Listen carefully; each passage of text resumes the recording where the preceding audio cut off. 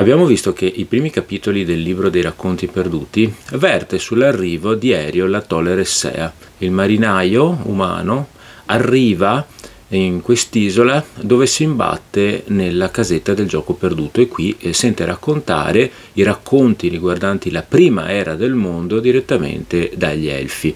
Non ha mai sentito parlare di un dio creatore, Eru, che vive fuori dal mondo e che ha creato il mondo. Nel mondo però esistono anche degli dei pagani, gli Ainur,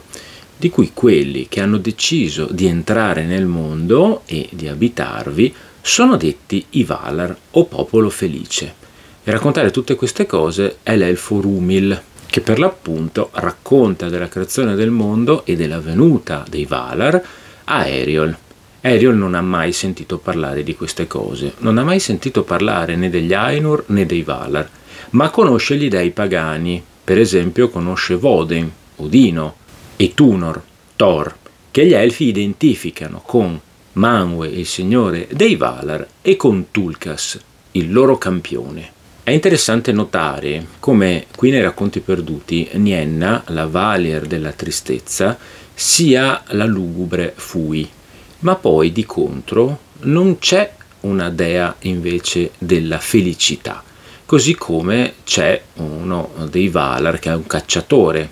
Orome, ma di contro non c'è un corrispettivo pastore o allevatore.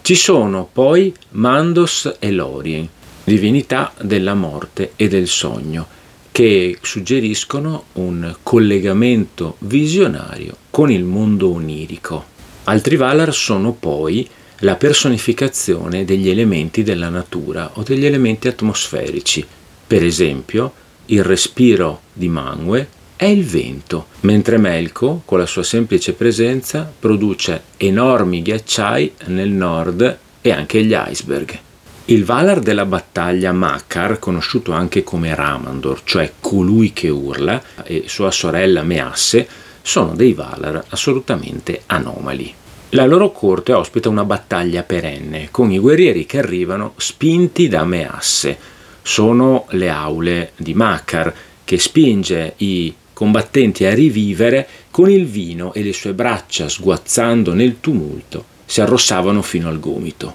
Questo è chiaramente un calco del Valhalla norreno, la sala eh, nella quale giungono gli spiriti dei guerrieri morti, che sono portati lì dalle Valchirie e messi a combattere sotto lo sguardo vigile di Odino, perché proprio loro serviranno all'esercito di Odino per la battaglia finale del Ragnarok. Tuttavia la presenza di Makar e Measse nel pantheon pagano dei Valar, con la loro brutale aula di ferro, suggerisce una visione ambigua della guerra come male necessario. E prova di questo è il fatto che contro Melko non ci vadano Makar e Measse, ma ci vada Tulkas, che invece è un Valar che è un campione sportivo, uno che ama i giochi, lo schiocco degli archi e il pugilato e inoltre la lotta, la corsa, il salto e i canti che si accompagnano all'alzarsi di una coppa ben colma. Measse e suo fratello Makar hanno un ruolo marginale all'interno del leggendario tolkieniano, sono presenti solo qui in queste prime fasi embrionali e poi scompariranno senza riapparire mai più. Vengono poi nominati i Sulimi dei Venti, Ui, regina delle Oarizzi, le Sirene, e Nieliki, una bambina il cui riso fa crescere i narcisi e le cui lacrime sono bucaneve. La dimora dei Valar è Valinor, chiamata anche Asgard, posta ai piedi dell'altissimo e innevato pinnacolo del Taniketil, posto sul margine occidentale della terra piatta. Valinor è dunque Asgard, il paradiso dei vichinghi, il luogo dove gli spiriti dei guerrieri uccisi in battaglia sono radunati per combattere e banchettare. Possiamo vedere che Tolkien, nelle prime fasi dell'elaborazione della sua mitologia, aveva cominciato quindi a sviluppare la sua idea dei Valar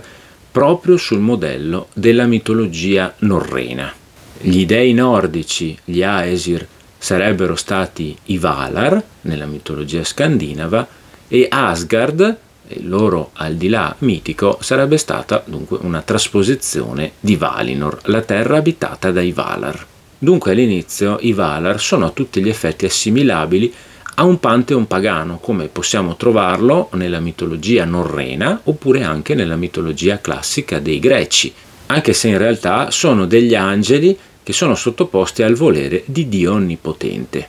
Poi Tolkien progressivamente abbandonò quest'idea, cercò anche di smussare i calchi eh, diretti dal Pantheon pagano e comunque non cancellò mai questa idea, perché anche nella sua evoluzione successiva, quando tutte le cose rimangono molto più sfumate, comunque i Valar rimangono come le intelligenze angeliche sottoposte al volere di Eru Iluvatar, il Dio Padre Onnipotente, che sta fuori dal mondo. I Valar dei racconti perduti dunque riflettono anche tutte le caratteristiche tipiche degli dei dei Pantheon pagani e quindi possiedono in sé tutte quelle caratteristiche umane che sono tipici dei vari dei che noi conosciamo come Zeus,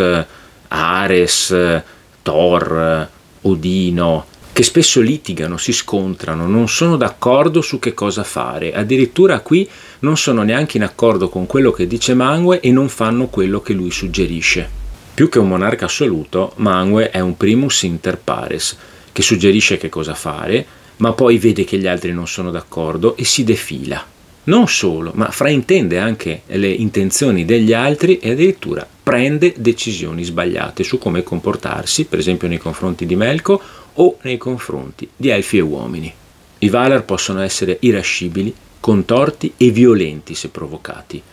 Tendono a intervenire, ma allo stesso modo tendono anche a ritirarsi dal mondo, un mondo che sembra molto complicato. Si vedono dunque in questa elaborazione all'interno del libro dei racconti perduti le principali influenze sulla mitologia di Tolkien, o almeno i modelli che Tolkien seguì nell'elaborazione del suo leggendarium, e cioè il mondo pagano con tutti i suoi dei e il cristianesimo. Per esempio, in questa fase di elaborazione della sua mitologia, vediamo che ancora c'è un al di là legato al cristianesimo, che in qualche modo cerca di conciliarsi con questa visione e quindi non ci sono solo le terre beate dove possono giungere le anime meritevoli, ma c'è anche una terra del crepuscolo che è paragonabile al purgatorio, mentre altri le altre anime non meritevoli vengono portate via dallo stesso Melko per essere portati nelle sue fortezze di Angband e Utumno, un vero e proprio inferno. Insomma, gli elementi ci sono ancora e distinti tra di loro. Poi Tolkien abbandonerà questa visione, cercando di amalgamare il tutto, cercando di creare una mitologia più fluida e non riconoscibile, o meglio non riconducibile alle fonti di partenza, una delle sue tradizionali metodologie di lavoro. Questo sarà rintracciabile anche nell'elaborazione dei suoi personaggi. All'interno di tutte le sue storie i personaggi hanno una loro fonte abbastanza ben riconoscibile, ma poi hanno tutti un'evoluzione personale che li porta a svilupparsi e a non coincidere mai con la fonte di ispirazione dalla quale Tolkien è partito. È quella che Shippey ha chiamato rielaborazione creativa delle fonti di partenza e che ci ha regalato la Terra di Mezzo e tutte le opere eh, scritte da Tolkien, a cominciare dal Signore degli Anelli. Uno dei particolari fondamentali all'interno di questa creazione, soprattutto a proposito della venuta dei Valar, è che Melko si distingue non come un Satana biblico, un Satana della tradizione giudaico-cristiana che è stato scacciato dai cieli e arrivato sulla terra. No, Melko, che poi sarebbe diventato Melkor o Morgoth, come lo avrebbero chiamato gli Elfi, è uno dei Valar che precede gli altri Valar ed entra nel mondo prima di loro. Anzi, è un supplicante che promette di smussare e limitare gli eccessi causati dalla violenza e dalla sfrenatezza della sua musica, la famosa stonatura che è all'interno della musica degli Ainur e che ha contribuito in maniera fondamentale alla creazione del mondo, imprimendo a tutto il mondo già la sfumatura del male. Viene dunque raccontata anche la creazione delle lampade, le prime fonti di luce nel mondo, che sono create da aule, una è d'oro e l'altra d'argento, con la luce che Manwe e Varda portano dal cielo. Aule, che è il Valar legato alla costruzione, il fabbro dei Valar, convince Melko a costruire due grandi torri che possano sostenere queste due lampade, Elkar a sud e Ringil a nord. Su queste torri devono essere messe le luci in modo tale da illuminare tutto il mondo. Tuttavia Melkor inganna Aule perché nonostante gli prometta di costruire delle torri fatte di un materiale indistruttibile, in realtà costruisce queste due grandi torri per metterci sopra le lampade in ghiaccio e ovviamente con il grande calore emanato dalle luci delle lampade questo ghiaccio si scioglie e le torri crollano, causando incredibili inondazioni in tutta la terra. Poi, dopo la distruzione delle lampade causate da questo inganno di Melko, i Valar costruiscono un'altra fonte di luce, questa volta nella terra di Valinor, cioè gli alberi, che in questa versione della storia, nel libro dei racconti perduti, nascono da un frammento della luce perduta di una delle due lampade, Elkar, un particolare che poi si sarebbe perso nelle successive elaborazioni del leggendarium. E qui vediamo anche una profonda differenza a livello di significati. Infatti, come dimostrato da Verlin Flieger nel magistrale saggio Schegge di luce, che parla proprio della luce all'interno del leggendario tolkieniano, in particolare del Silmarillion, la luce delle lampade, una volta distrutta, non può venire ripristinata e quindi la luce dei due alberi è proprio diversa quantitativamente e qualitativamente. Oltretutto gli alberi non sono neanche creati dagli stessi Valar che hanno materialmente contribuito a creare le lampade, perché mentre la luce delle lampade era stata dovuta a Manwe e soprattutto a Varda, invece nel caso degli alberi è, direttamente frutto di Yavanna, il cui campo d'azione è la natura e la vegetazione, non l'aria e il fuoco, come nel caso di Manwe e Varda. In seguito Tolkien tornerà sulla questione del crollo delle due lampade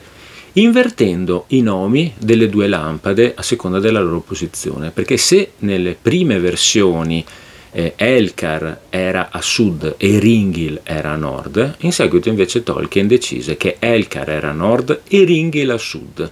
e decise eh, di cambiare anche gli effetti della distruzione portata dal crollo delle lampade, perché se finora avevamo visto che cadendo le lampade avevano portato a inondazioni e a una sommersione della terra, invece poi Tolkien elaborò l'idea che nei punti in cui le lampade erano crollate si erano originati due mari interni e quindi il mare di Elkar a nord e il mare di Ringil a sud. Un'altra prova di quanto sia profonda ed elaborata la riflessione di Tolkien nella creazione della sua mitologia e del suo leggendarium. E questo è forse il principale aspetto di interesse di un libro come i racconti perduti, che permettono di risalire alle prime versioni embrionali della storia,